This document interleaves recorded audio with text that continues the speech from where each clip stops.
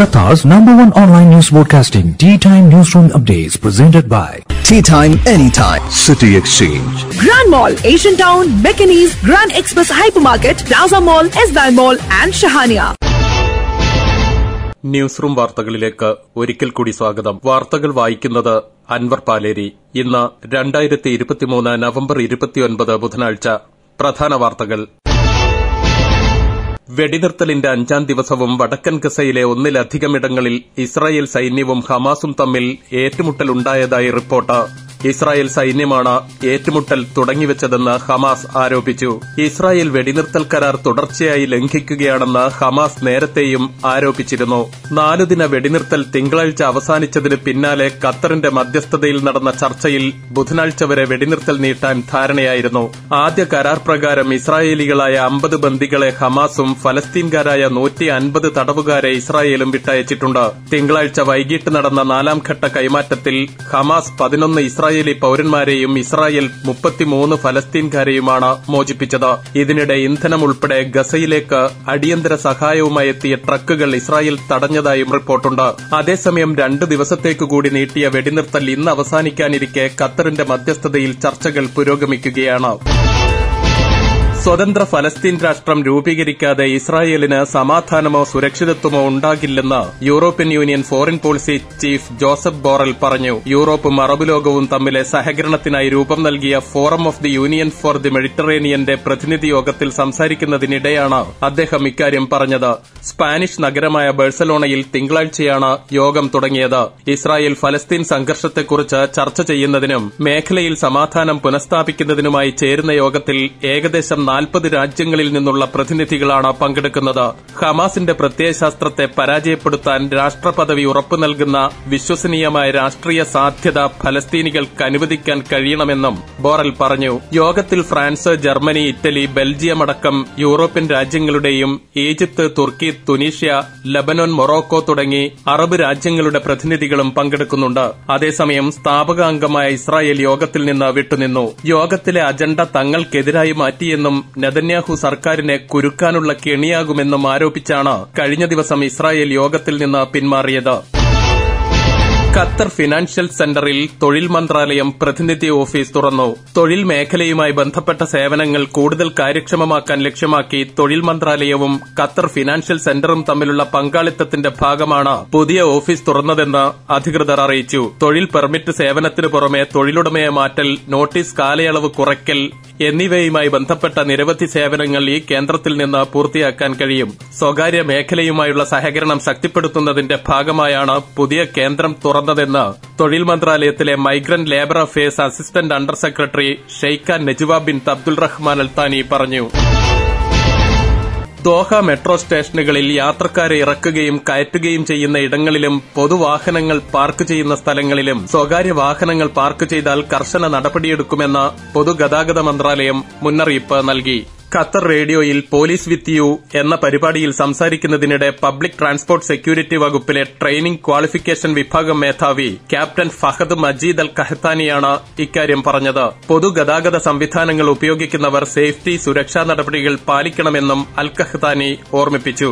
Metro യാത്രക്കിടെ യാത്രക്കാരുടെ വ്യക്തിഗത സാധനങ്ങൾ നഷ്ടമായാൽ ഒന്ന് പൂജ്യം അഞ്ച് എന്ന ഹോട്ട്ലൈൻ നമ്പറിൽ വിളിച്ചറിയിക്കണമെന്നും അദ്ദേഹം നിർദ്ദേശിച്ചു. പൂംസലാൽ സെൻട്രൽ മാർക്കറ്റിൽ മത്സ്യം സമുദ്രോൽപ്പന്നങ്ങൾ എന്നിവ ലേലം ചെയ്യുന്നതിനുള്ള സമയക്രമത്തിൽ മാറ്റം വരുത്തി. പുതിയ സമയക്രമമനുസരിച്ച് മഗ്രിബ് നമസ്കാരത്തിന് ശേഷമുള്ള സമയത്തായിരിക്കും ലേല നടപടികൾ നടക്കുകയെന്ന് വാണിജ്യ വ്യവസായ മന്ത്രാലയം അറിയിച്ചു. ആദ്യം രാവിലെ മുതൽ വൈകുന്നേരം വരെയായിരുന്നു ലേലത്തിന്റെ സമയം നിശ്ചയിച്ചിരുന്നത്. മുൻ ഖത്തർ പ്രവാസി നാട്ടിൽ അന്തരിച്ചു. ചാവക്കാട് ബ്ലാങ്ങാട് സിദ്ദീഖ് പള്ളിക്ക് സമീപം തെക്കുവശം താമസിക്കുന്ന ചാലിൽ ഹൈദ്രോസാണ് മരിച്ചത്. ദീർഘകാലം പഴയ ഇന്ത്യൻ എംബസിക്കടുത്ത് ടൈപ്പിംഗ് സെന്റർ നടത്തിയിരുന്നു. ഖത്തർ കെ എം സി സിയുടെ സജീവ പ്രവർത്തകനായിരുന്നു. മുസ്ലിം ലീഗ് നേതാവും കേരള മുസ്ലിം എഡ്യൂക്കേഷണൽ അസോസിയേഷൻ അംഗവുമായിരുന്നു. കുവൈത്തിലെ അൽസൂർ റിഫൈനറി പരിസരത്ത് ജാഗ്രത പാലിക്കാൻ അധികൃതർ നിർദ്ദേശം നൽകി. കുവൈത്ത് ഇന്റഗ്രേറ്റഡ് പെട്രോളിയം ഇൻഡസ്ട്രീസ് കമ്പനിയുടെ എക്സ് അക്കൌണ്ട് വഴിയാണ് പൊതു അറിയിപ്പ് നൽകിയത്. കടൽ യാത്രക്കാരും മത്സ്യബന്ധന ബോട്ടുകളും റിഫൈനറിക്ക് സമീപത്തെ കടുക്കരുതെന്നും സുരക്ഷിതമായ അകലം പാലിക്കണമെന്നും കമ്പനി അധികൃതർ പറഞ്ഞു. മത്സ്യബന്ധന ബോട്ടുകൾ റിഫൈനറിക്ക് അടുത്തു വരുന്നത് ടാങ്കറുകളുടെയും ഗതാഗത ബോട്ടുകളുടെയും നീക്കത്തെ ബാധിക്കും. ഇത്തരം തടസ്സങ്ങൾ വിദേശ കയറ്റുമതിയെ പ്രതികൂലമായി ബാധിക്കാൻ സാധ്യതയുണ്ടെന്ന് കമ്പനി വിശദീകരിച്ചു. ലോകത്തിലെ ഏറ്റവും വലിയ റിഫൈനറികളിലൊന്നാണ് അൽസൂർ റിഫൈനറി. ഡിസംബർ ഒന്ന് മുതൽ മൂന്ന് വരെ ദുബായിലെ പ്രധാന ഹൈവേയായ ഷെയ്ഖ് സായിദ് റോഡിൽ ഗതാഗതം വഴിതിരിച്ചുവിടുമെന്ന് ദുബായ് മീഡിയ ഓഫീസ് അറിയിച്ചു. അബുദാബി ദിശയിലേക്കുള്ള വാഹനങ്ങൾ Jumeirah road Sheikh Mohammed bin Zayed road Emirates road എന്നിവ വഴിയാകും തിരിച്ചുവിടുക. കോപ്പ് ട്വന്റിയെയ്റ്റ് ആഗോള കാലാവസ്ഥാ ഉച്ചകോടി നടക്കുന്ന പശ്ചാത്തലത്തിലാണ് നിയന്ത്രണം. മൂന്ന് ദിവസവും രാവിലെ ഏഴ് മുതൽ പതിനൊന്ന് വരെയാണ് ഗതാഗതം വഴിതിരിച്ചുവിടുക. തണുപ്പുകാലമായതോടെ യു എയിലെ മരുഭൂമികളിൽ ഉല്ലാസയാത്രയ്ക്ക് പോകുന്നവർക്ക് അധികൃതർ മുന്നറിയിപ്പ് നൽകി. മരുഭൂമിയിലും മലയോര പ്രദേശങ്ങളിലും പോകുന്നവർ വിഷപ്പാമ്പുകളെ സൂക്ഷിക്കണമെന്നും തണുപ്പും പിന്നാലെയുള്ള ചെറിയ ചൂടും കാരണം പാമ്പുകൾ പുറത്തിറങ്ങാൻ സാധ്യതയുണ്ടെന്നും അതീവ ജാഗ്രത പാലിക്കണമെന്നുമാണ് മുന്നറിയിപ്പ്. കടിയേറ്റാൽ പതിനഞ്ച് സെക്കൻഡിനകം ശരീരമാകെ വിഷം വ്യാപിക്കുന്ന പാമ്പുകൾ യു എ മരുഭൂമിയിലുണ്ടെന്ന് എമിറേറ്റ്സ് നേച്ചർ ഡബ്ല്യു ഡബ്ല്യു എഫിലെ ജൈവ വൈവിധ്യ സംരക്ഷണ വിഭാഗം അസോസിയേറ്റഡ് ഡയറക്ടർ ആൻഡ്രൂ ഗാഡ്നർ ഓർമ്മിപ്പിച്ചു. വേൾഡ് എക്സ്പോ രണ്ടായിരത്തി മുപ്പത് ആതിഥേയത്വത്തിനു വേണ്ടി നടന്ന വോട്ടെടുപ്പിൽ സൌദി അറേബ്യയ്ക്ക് വിജയം. അന്തിമ റൌണ്ടിൽ ഇറ്റലി ദക്ഷിണ കൊറിയ എന്നീ രാജ്യങ്ങളോട് മത്സരിച്ചാണ് ആതിഥേയത്വത്തിനുള്ള അവസരം സ്വന്തമാക്കിയത്. വോട്ടെടുപ്പിൽ നൂറ്റി പത്തൊൻപത് രാജ്യങ്ങളുടെ പിന്തുണ സൌദിക്ക് ലഭിച്ചു. രണ്ടായിരത്തി മുപ്പത് ഒക്ടോബർ ഒന്ന് മുതൽ രണ്ടായിരത്തി മുപ്പത്തിയൊന്ന് മാർച്ച് മുപ്പത്തിയൊന്ന് വരെയാണ് വേൾഡ് എക്സ്പോ റിയാദിൽ നടക്കുക. കോട്ടയം ജില്ലയിലെ പ്രവാസി സംരംഭകർക്കായി നോർക്ക റൂട്ട്സും കേരള ബാങ്കും സംയുക്തമായി ഡിസംബർ പതിനാലിന് വായ്പാ നിർണയ ക്യാമ്പ് സംഘടിപ്പിക്കുന്നു. കോട്ടയം ശാസ്ത്രി റോഡിലെ ദർശന ഓഡിറ്റോറിയത്തിലാണ് ക്യാമ്പ് നടക്കുക. നാട്ടിൽ തിരിച്ചെത്തിയ പ്രവാസികളുടെ പുനരധിവാസത്തിനായി സംസ്ഥാന സർക്കാർ നോർക്ക റൂട്ട്സ് വഴി നടപ്പിലാക്കുന്ന Norka department project for returns emigrant പ്രവാസി ഭദ്രത പദ്ധതികൾ പ്രകാരമാണ് വായ്പാ നിർണയ ക്യാമ്പ് സംഘടിപ്പിക്കുന്നത്. രണ്ടു വർഷത്തിലധികം വിദേശത്ത് ജോലി ചെയ്ത് നാട്ടിൽ സ്ഥിരതാമസമാക്കിയ പ്രവാസി കേരളീയർക്ക് പുതിയ സ്വയം തൊഴിൽ സംരംഭങ്ങൾ ആരംഭിക്കുന്നതിനും നിലവിലുള്ളവയുടെ വിപുലീകരണത്തിനും അപേക്ഷിക്കാവുന്നതാണ്. താൽപര്യമുള്ള പ്രവാസികൾക്ക് നോർക്കയുടെ ഔദ്യോഗിക വെബ്സൈറ്റിലെ ലിങ്ക് വഴി N D P R E M പദ്ധതിയിൽ രജിസ്റ്റർ ചെയ്ത് പങ്കെടുക്കാവുന്നതാണ്. മുൻകൂട്ടി രജിസ്റ്റർ ചെയ്യുന്നവർക്ക് മാത്രമായിരിക്കും പ്രവേശനം. കേരളത്തെ മുൾമുനയിൽ നിർത്തി കൊല്ലം ഓയൂരിൽ നിന്ന് ആറു വയസ്സുകാരിയെ തട്ടിക്കൊണ്ടുപോയ സംഭവത്തിൽ പ്രതികളെ കണ്ടുപിടിക്കാനാവാതെ പോലീസ് ഇരുട്ടിൽ തപ്പുന്നു. പ്രതിയെന്ന് സംശയിക്കുന്ന യുവതിയുടെ രേഖാചിത്രം പുറത്തുവിട്ടിട്ടുണ്ട്. കൊല്ലം കണ്ണനല്ലൂരിൽ ഒരു വീട്ടിലെ കുട്ടി നൽകിയ വിവരമനുസരിച്ചാണ് രേഖാചിത്രം തയ്യാറാക്കിയത്. അബിഗേലിനെ കഴിഞ്ഞ ദിവസം ആദ്യം കണ്ടെത്തിയ മൂന്ന് വിദ്യാർത്ഥിനികൾ പ്രതിയെന്ന് സംശയിക്കുന്ന യുവതിയെ നേരിൽ കണ്ടിരുന്നു. ഈ മൂന്ന് വിദ്യാർത്ഥിനികളുടെ മൊഴിപ്രകാരവും പുതിയ രേഖാചിത്രം തയ്യാറാക്കും. പ്രതികൾ ജില്ല വിട്ടിട്ടില്ലെന്നാണ് പോലീസ് പറയുന്നത്. പ്രതികൾക്ക് പുറത്തുനിന്ന് സഹായം ലഭിച്ചിട്ടുണ്ട്. പ്രതികളുടെ ലക്ഷ്യം സാമ്പത്തികം മാത്രമായിരുന്നില്ലെന്നും പോലീസ് പറഞ്ഞു. തട്ടിക്കൊണ്ടുപോകലിന് പിന്നിൽ ഒരു പ്രൊഫഷണൽ സംഘമല്ലെന്ന് പോലീസ് സ്ഥിരീകരിച്ചിട്ടുണ്ട്. നേരത്തെ ചില കേസുകളിൽ ഉൾപ്പെട്ടവരെ കേന്ദ്രീകരിച്ചാണ് അന്വേഷണം നടക്കുന്നത്. എന്നാൽ കുട്ടിയെ കണ്ടെത്തി മണിക്കൂറുകൾ പിന്നിട്ടിട്ടും പ്രതികളിൽ ഒരാളിലേക്കെങ്കിലും എത്താൻ പോലീസിന് കഴിയാത്തത് വലിയ വിമർശനങ്ങൾക്കാണ് ഇടയാക്കുന്നത്.